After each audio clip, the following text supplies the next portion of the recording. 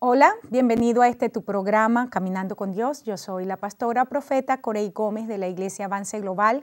Siempre para mí de mucha bendición compartir contigo y este es el día que hizo el Señor. Yo estoy gozándome y alegrándome en este día. La pregunta para ti es, ¿estás tú gozándote en este día? El día que hizo el Señor para ti. Es un día maravilloso, un día de grandes glorias y de grandes triunfos. Quiero decirte que a lo largo de la programación tenemos una línea de oración abierta y eh, allí está el teléfono, el número de teléfono está en pantalla. Queremos que nos llames y compartas con nosotros tus necesidades. También si tienes alguna pregunta, alguna inquietud, puedes entrar a nuestra página en internet o en Facebook, conectarte con nosotros a través de las redes sociales. Siempre será de bendición poder pues compartir con ustedes a través de, de ese medio también. Además de que a través de nuestra página en internet puedes conocer mucho más de nuestro ministerio. Somos un ministerio sembrado en la ciudad para traer reforma y para equipar al cuerpo de Cristo, para que impacte las naciones de la tierra. Ese es nuestro llamado el equipamiento. Por eso es que somos un ministerio con un fuerte énfasis en la enseñanza, en la palabra, y nuestra invitación a cada persona siempre es que si ama estudiar la palabra de Dios y, está haciendo, necesita ser entrenado en el ministerio, nosotros somos el lugar para ustedes. Además de eso, queremos ah, también decirte que como ministerio como iglesia nosotros caminamos en el, en el, poder del Espíritu, creemos en que eh, Dios se mueve con poder y con autoridad. Si tienes alguna situación en tu familia, problemas familiares, si estás enfrentando eh, situaciones de opresión espiritual, llámanos, comparte con nosotros. Hay un grupo de personas que está capacitada para atenderte. Por teléfono no damos la asesoría, pero por lo menos podemos, eh, tenemos para poderte dar una cita y poder compartir contigo. Bien, he estado compartiendo con ustedes un tema sumamente interesante, la reforma de Ezequías o la generación Ezequías, y ya hoy es el último ah, capítulo, vamos a decir así, de esta serie. Y te decía, y te lo dije en varios programas, que para mí personalmente esta serie ha sido de muchísima bendición. Eh, ha abierto mis ojos eh, con respecto a ciertas estrategias en este tiempo. Me ha dado el ánimo para saber, la valentía, para saber que enfrentar eh, lo que hemos heredado como iglesia del siglo XXI, haber heredado doctrinas de hombre, doctrinas de demonios, una iglesia con, una mentalidad facilista, con, eh, inmersa en situaciones donde eh, anhela ser políticamente correcta. Y siga usted contando. Se requiere de un espíritu como el de Ezequías para enfrentar esta situación y erradicarla de la iglesia. Yo creo que Dios a lo largo de la tierra ha estado formando hombres y mujeres con este corazón y eso es algo que llena mi vida de, siempre lo digo, de esperanza, porque a veces da la impresión que el Señor va perdiendo. Da la impresión a veces que el reino de los cielos como que se ha debilitado cuando vemos tanta maldad, pero saber que el Señor está en control, y que todas estas cosas que, aún estamos mirando, eh, Dios está en control de todo esto, pues produce en nosotros esperanza y, al mismo tiempo el deseo maravilloso de ser instrumento en las manos de Dios para traer cambios a la iglesia. Eh, hoy te decía es el último capítulo y en el, en, el, en el, programa anterior empecé a tratar justamente esta, este último punto que tiene que ver con la reorganización de los ah, sacerdotes y levitas. Te decía en el programa pasado que eh, la limpieza, el proceso de santificación, no era solamente a nivel de las vidas personal de, los levitas y los sacerdotes, ni tampoco eh, el hecho de reformar lo que era eh, el santuario en sí mismo. Pero hablar de la iglesia y no hablar de su liderazgo es dejar las cosas a la mitad. Y Ezequías entendió esto. Ezequías entendió que uno de los problemas serios que eh, había enfrentado eh, en este tiempo, eh, no solamente la nación entera y, el santuario en sí mismo, el templo, de, no tener gente que estuviera preparada para hacer los sacrificios y todas esas cosas. se debió a varias cosas. Por supuesto, ya, ya tratamos en los otros ah, capítulos, en los otros programas, extensivamente las razones como Acaz, como rey, como líder, trajo una, un nivel de sucieza a, la, a, la, nación, de corrupción moral, espiritual, degradación de los valores extrema. Y esto trajo como una consecuencia directa el hecho de que el, pueblo dejó de traer a la iglesia, al santuario, sus diezmos y ofrendas. Y Leví, que era la tribu eh, sacerdotal, me llama mucho la atención que Leví, eh, pues Dios desde el principio, y esto lo hemos estudiado en otros momentos, no le dio a Leví heredad sino que dijo que Leví iba a tener heredad entre sus hermanos y ellos iban, su porción era tomada justamente de lo que la gente traía al templo.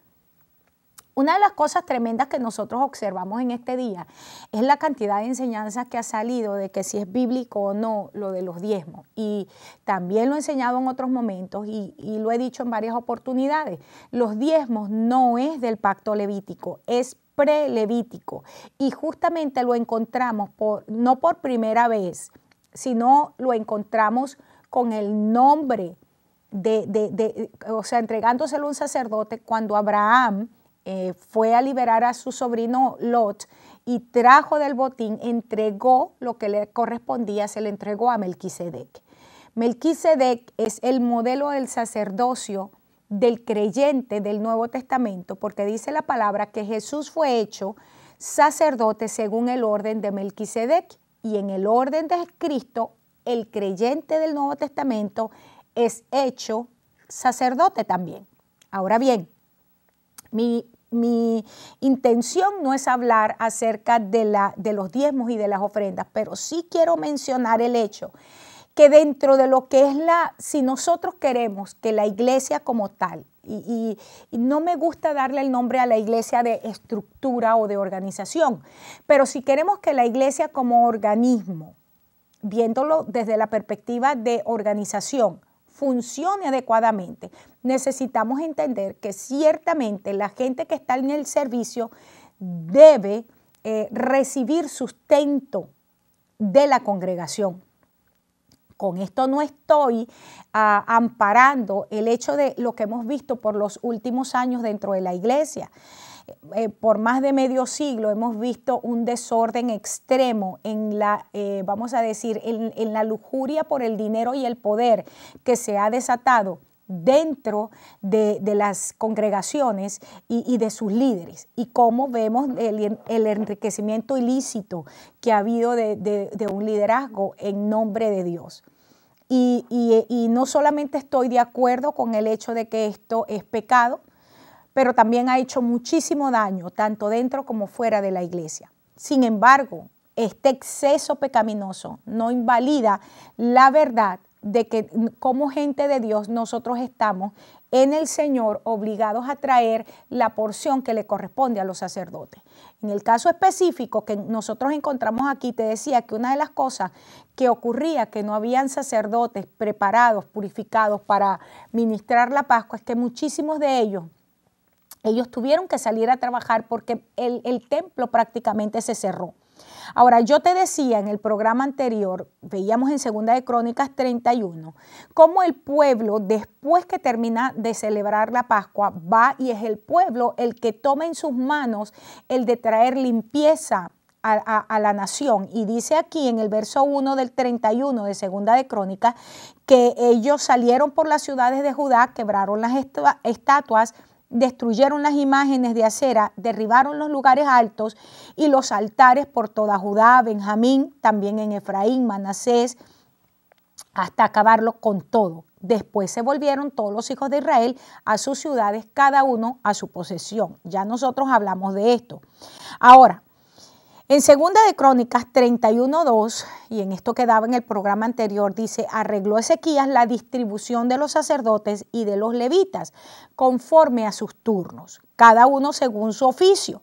Los sacerdotes y los levitas para ofrecer el holocausto y las ofrendas de paz para que ministrasen para que diesen gracia y alabasen dentro de las puertas de los atrios. El rey contribuyó de su propia hacienda para los holocaustos. Mira, mira todo esto. Ezequías sabía que tenía que empezar a dar el ejemplo, porque había un pueblo que se había olvidado de su Dios y se había olvidado de cuáles eran los, los, vamos a decir así, los estatutos que Dios había establecido de cómo la casa del Señor tenía que funcionar. Y dice que él personalmente contribuyó de sus propios bienes. Verso 4 mandó también al pueblo que habitaba en Jerusalén que diese la porción correspondiente a los sacerdotes y levitas para que ellos se dedicasen a la ley de Jehová. Esta última frase es clave. Hay una porción que le corresponde al liderazgo para que ellos puedan entonces encargarse de la obra del Señor. Ezequías entonces, aquí encontramos que estamos tratando el punto de cómo él inicia eh, eh, el colocar el orden y el rango de los sacerdotes y los levitas dentro del santuario. Y lo primero que hace entonces es llamar al pueblo a conciencia de que tenían que traer la porción correspondiente para que ellos pudieran entonces encargarse de la ley del Señor, de administrar la ley del Señor. En el verso 5 dice que cuando este edicto fue divulgado, los hijos de Israel dieron muchas primicias de, grano, vino, aceite, miel y de todos los frutos de la tierra. Trajeron asimismo en abundancia los diezmos de todas las cosas. Fíjate qué cosa interesante. Dios empezó a hacer una obra dentro del pueblo, empieza un proceso de santificación, empieza un proceso de purificación. Entienden que tenían que celebrar las fiestas que habían sido establecidas. Y cuando el pueblo empezó a derribar los altares, entonces apenas entendieron que tenían que traer al templo, dice que lo dieron en abundancia. Lo que yo puedo deducir de aquí que uno de los grandes problemas que tenemos con la gente que no tiene la capacidad de dar es que hay muchos baales en su vida. Jesús lo dijo de esta manera, no podemos servir a dos señores, ni a, Dios y, a las, y, al dinero. No podemos servirle a los dos. Dice, eventualmente tú vas a, a aborrecer a alguno de los dos.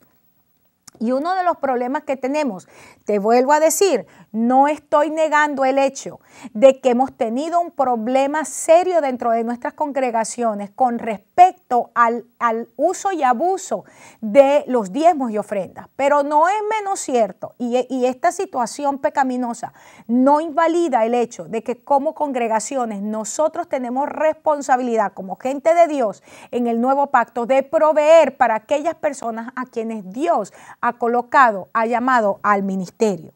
Ahora bien, nosotros sabemos, y esto lo podemos ver en Levítico capítulo 6 y capítulo 7, que los sacerdotes y los levitas dependían justamente de las entradas que, de las cosas que se traían al, tabernáculo. Y te vuelvo a decir, este no es mi tema, sino, por supuesto, tengo que tocarlo por lo menos de manera periférica. Ahora, me llama la atención que Ezequías no solamente se quedó con decir, tienen que traer los diezmos, las ofrendas, y el pueblo dio diezmos y ofrendas de manera abundante, sino que Ezequías establece una mayordomía meticulosa, una administración meticulosa de las cosas que se estaban trayendo quiero que te vayas conmigo a Segunda de Crónicas 31:13. Y el liderazgo que me está mirando, la gente que está en liderazgo, quiero que de manera muy ah, puntual pueda revisar conmigo esto. Ahí te encuentras en el verso 13 eh, todos los, los, eh, los sacerdotes eh, que estaban encargados de la mayordomía, Jehiel, Azarías, Nahat, Asael, Jerimot, Josabat, Eliel, Ismaquías, Mahat, Benaía. Dice, fueron los mayordomos al servicio de Conanías y de Semeí, su hermano, por mandamiento del rey Ezequías y de Azarías, príncipe de la casa de Dios. Y al levita Coré, hijo de Igna, guarda de la puerta oriental, tenía cargo de las ofrendas voluntarias para Dios y de la distribución de las ofrendas dedicadas a Jehová y de las cosas santísimas. Y a su servicio estaba Edén Benjamín, Jesús, Semaías, Samarías, Secanías de las ciudades de los sacerdotes para dar con fidelidad, mira esto, esto es sumamente interesante, a sus hermanos sus porciones conforme a sus grupos, hacia el mayor como al menor. Verso 16. A los varones anotados por sus linajes de tres años arriba, a todos los que entraban a la casa, en la casa de Jehová para desempeñar su ministerio según sus oficios y grupos también a los que eran contados entre los sacerdotes según sus casas paternas y a los levitas de edad de 20 años arriba conforme a sus oficios y grupos. Eran inscritos con todos sus niños, mujeres, hijos, hijas y toda la multitud porque con fidelidad se consagraban a las cosas santas. Escucha esto, ¿quiénes eran las personas que estaban recibiendo el beneficio de lo que Dios había establecido, el pueblo debía traer de sus diezmos y ofrendas. Aquellas personas que estaban consagradas con fidelidad al ministerio, con fidelidad a, la, a, ejecutar, a obedecer, a hacer lo que le había sido encomendado en el ministerio.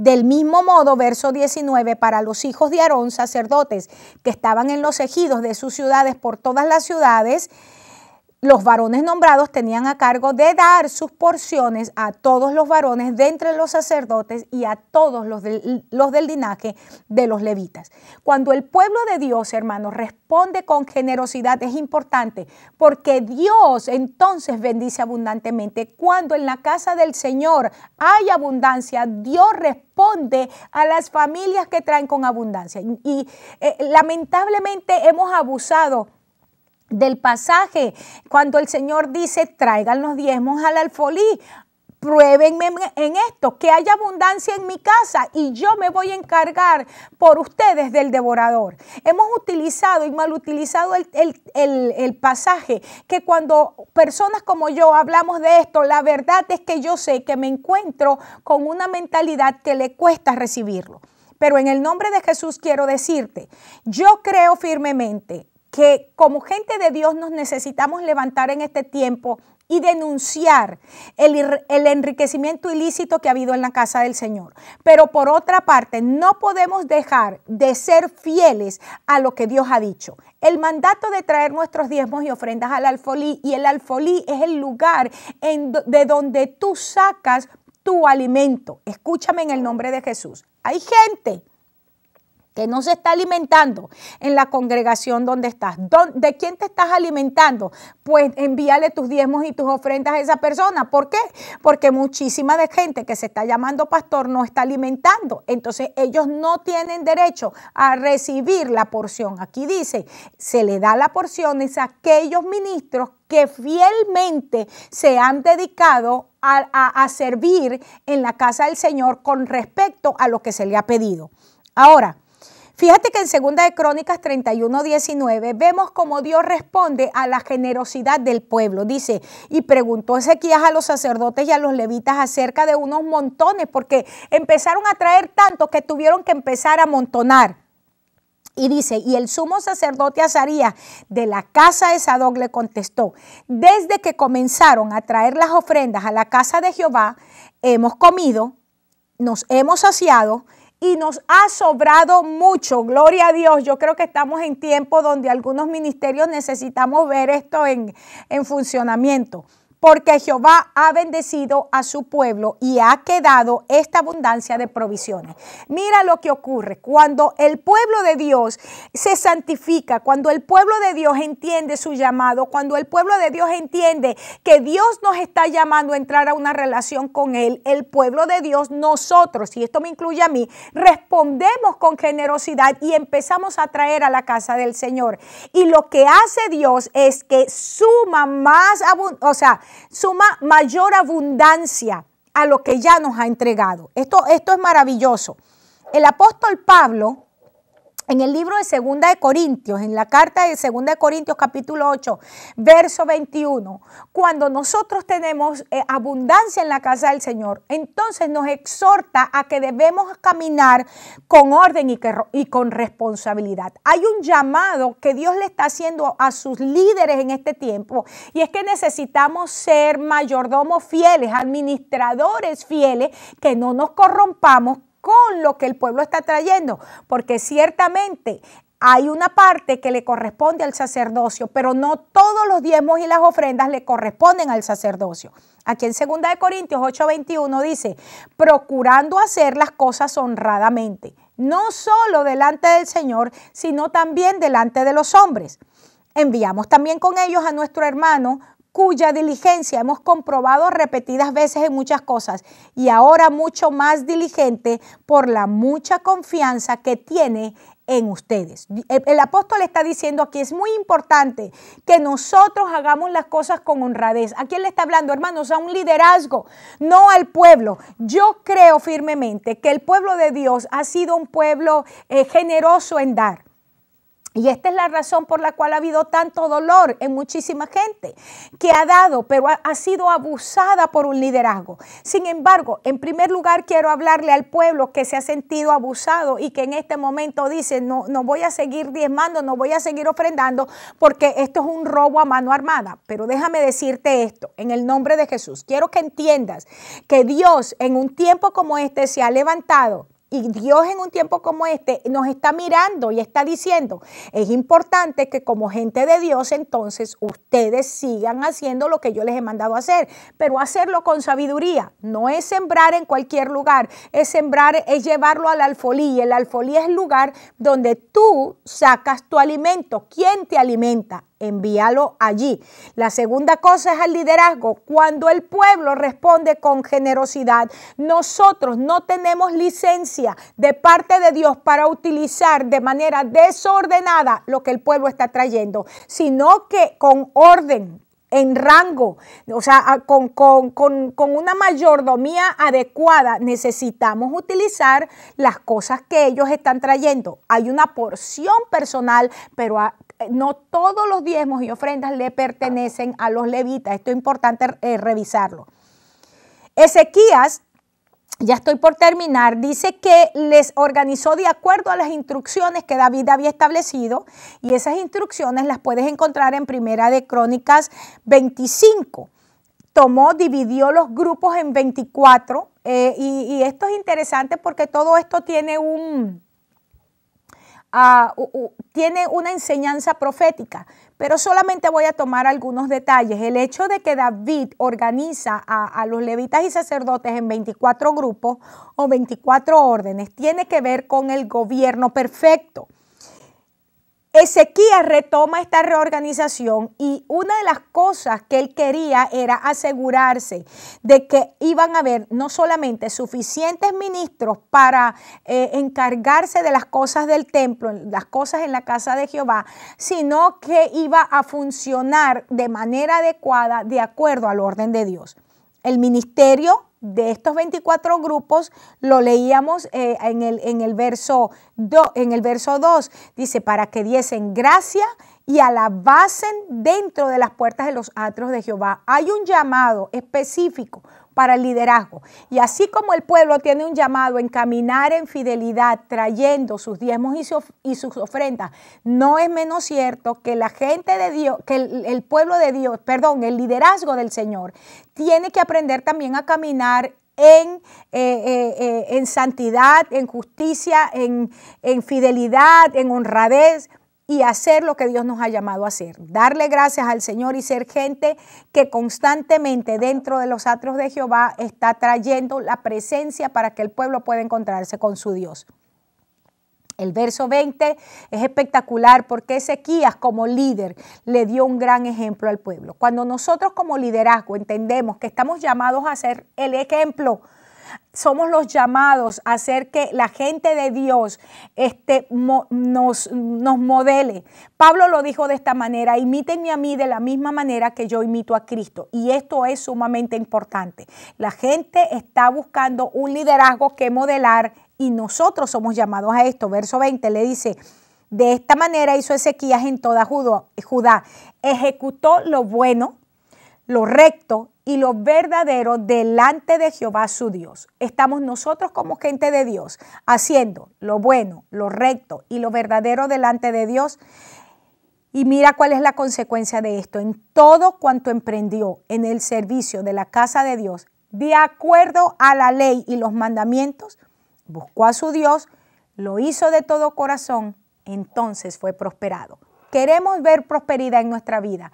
Queremos ver el respaldo de Dios en nuestra vida. Queremos ver el ministerio avanzando. Queremos ver a la gente de Dios caminando en lo que tiene que caminar. Pues nosotros necesitamos hacer lo bueno, lo recto y lo que es verdadero delante del Señor, poniendo todo nuestro corazón y todo nuestro empeño, toda nuestra fidelidad para que Dios entonces se manifieste como prosperándonos en todas las cosas. Y la prosperidad no es solamente material, la prosperidad tiene que ver, Pablo lo dijo de esta manera, yo espero que tú, estés prosperando en todas las cosas de, la misma manera que prospera tu alma. Hay, un, hay una parte interna que tiene que prosperar. Estamos prosperando, es decir, en ensanchándonos a nivel espiritual, estamos ensanchándonos en nuestro conocimiento, estamos ensanchándonos en nuestras relaciones. Entonces, de esa misma manera somos prosperados en las cosas de afuera. Y ya voy terminando. Eh, dice que en todo lo que emprendió lo hizo de corazón,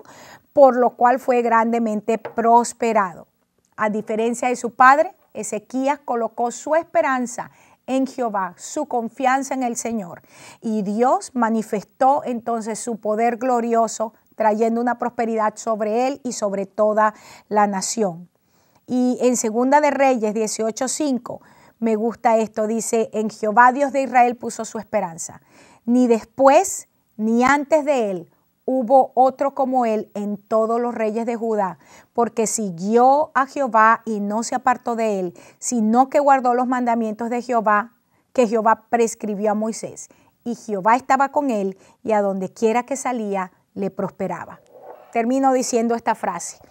el Nuevo Testamento dice, busca primeramente el reino de Dios y su justicia y todas las demás cosas serán añadidas. Cuando nuestra prioridad es Dios, cuando nuestra prioridad es su reino, Dios siempre va a traer sobre nuestras vidas gran prosperidad en todos los sentidos. Y déjame decirte, como mujer de Dios, como pastora, que tengo muchísimos años pastoreando, pues tengo alrededor de 25 años pastoreando ya.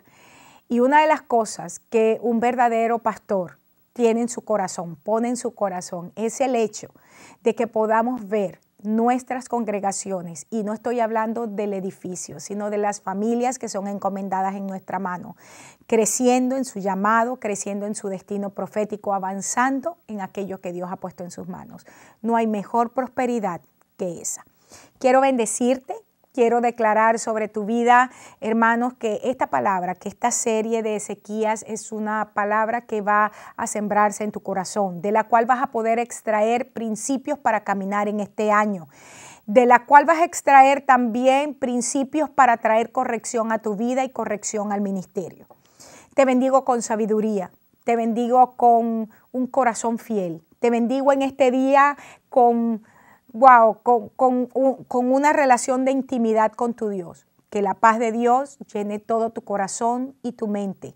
En el nombre de Jesús, gracias nuevamente por estar conmigo. Quiero pedirte que me llames, ahí está el teléfono. Te espero en mi próximo programa. Entonces, que Dios te bendiga y Dios te guarde, haga resplandecer su rostro sobre ti, haga de ti misericordia y ponga en ti paz.